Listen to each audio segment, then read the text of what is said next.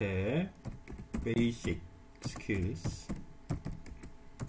어, stand-up paddleboard SUP에 관한 기본적 skill에 대해서 물어보겠습니다. 자, 뭐라고 하나.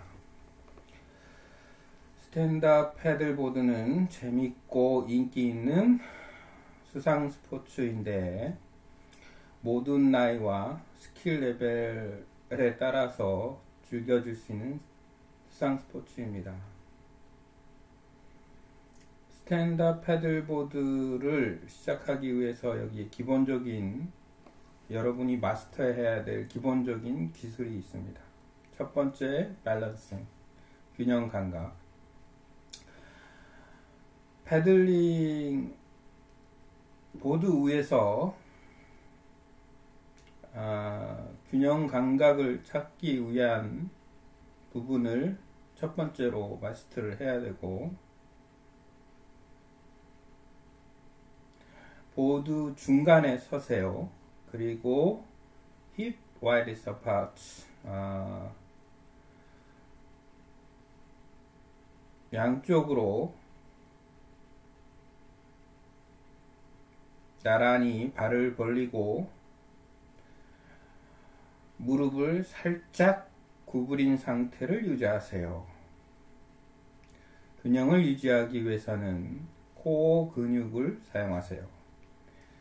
아, 밸런스, 균형 잡는 방법에 대해서 이야기를 하고 있고 두 번째로서는 paddling 기술, paddling 테크닉에 관한 이야기입니다. 양손으로 패들을 잡으세요.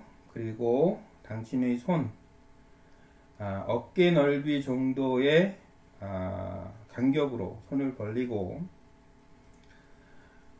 패들의 날을 물속에 넣고 그 다음에 몸 쪽으로 향해서 그것을 당기면 됩니다.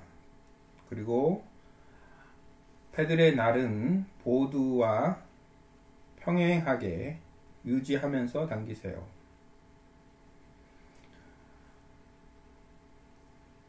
각 스트로크의 다른 방향도 paddling을 같이 하면 됩니다.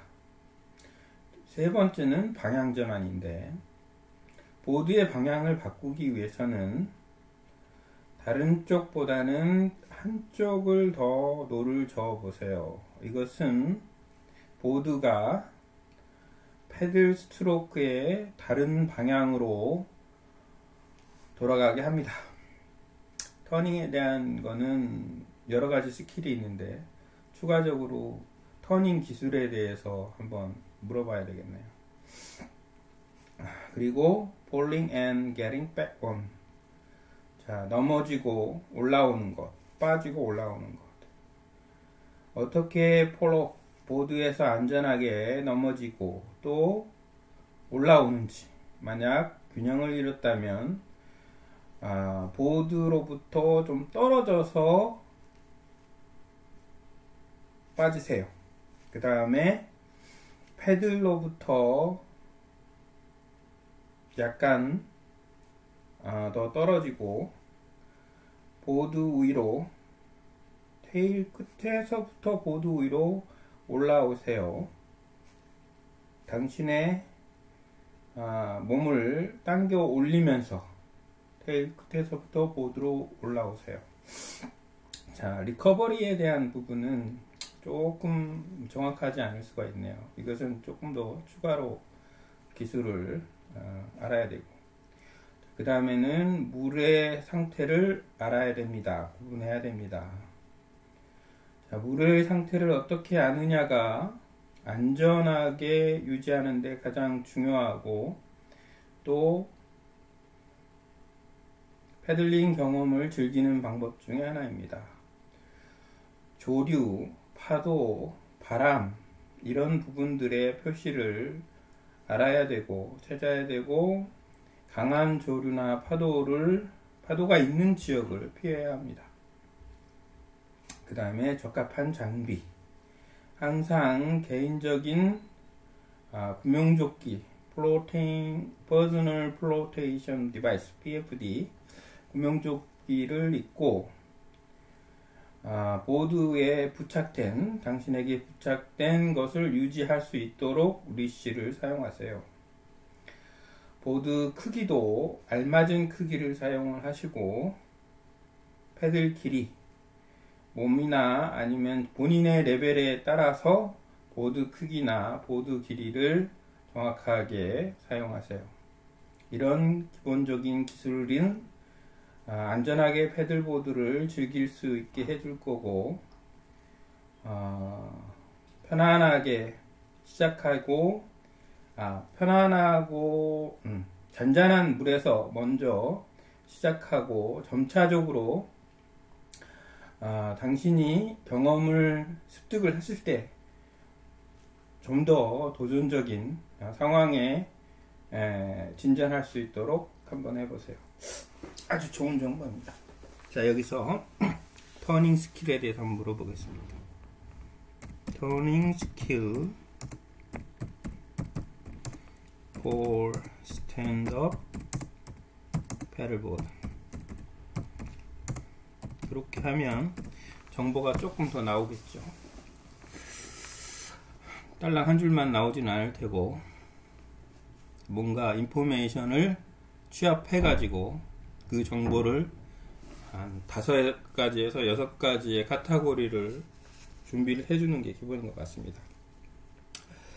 아, 앞부분에선 터닝 할 때는 그냥 패드를 한 방향으로 저으면 다른 방향으로 갈 거라고 간단하게 얘기했는데 두 번째 질문 SUP에서의 터닝 기술에 대해서 바로 물어보니까 대략적으로 지금 어, 네 가지 정도를 얘기를 해주네요. 자, 일단 sweep stroke이라는 게 있다. 그 다음에 back paddle도 있고 셋 step back turn도 있고 pivot turn, cross bow turn이라는 게 있다. 아주 상세하게 나오네요. cross bow turn 같은 경우에는 SUP 레벨 1 테스트 과정에 들어있는 겁니다. 일단 sweep stroke는 가장 기본적인 보드를 기본적으로 가장 보드 방향을 바꾸는 가장 기본적인 것 중에 하나인데 아, sweep stroke가 사용이 됩니다. 이 스트로크를 활용해서 당신은 물에 패들을 넣고 시작하는데 아, 보드 앞쪽 가까이 물에 패들을 넣고 시작하세요. 그리고 패들을 바깥쪽으로 쓸듯이 쓸어내고 그 다음에 넓게 보드를 어, 방향을 전환을 시키세요. 이것은 보드가 어, 스위프 하는 다른 방향 쪽으로 돌아가게 합니다. 어, 마치 빗지락을 사용해서 청소를 하듯이 음, 패드를 쭉 뻗어가지고 보드 앞부분에서 청소하듯이 물을 잡고 당기면 보드가 돌아가는 것을 얘기합니다.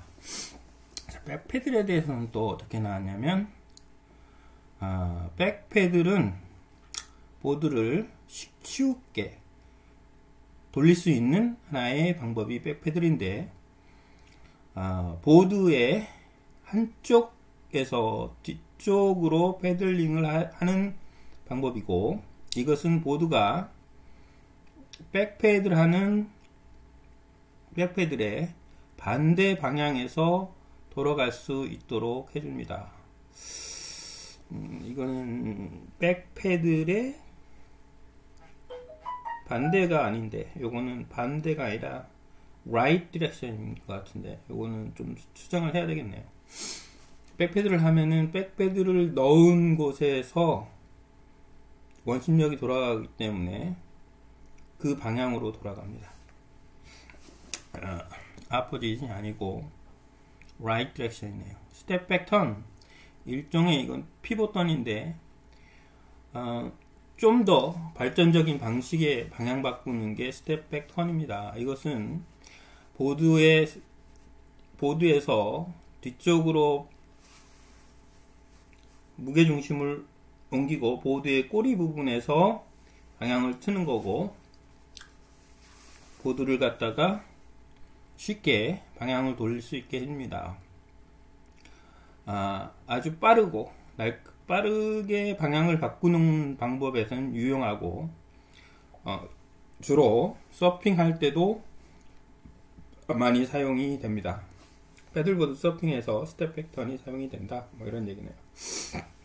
cross bow turn은 이 턴은 종종 레이싱 경주를 하거나 음, 할 때 사용이 되는데 보드 앞쪽에 blade 패들 blade를 놓고 그 다음에 반대쪽으로 돌리면서 미는 방식이 크로스바우 턴입니다. 이것은 모두가 빨리 돌아갈 수 있게 해줍니다. 패들보드의 방향을 바꾸는 열쇠는 당신의 몸에 변화를, 무게에 변화를 주는 거고, 그 다음에 보드의 어떤 방향 조정을 당신의 패드를 사용해서 하는 겁니다.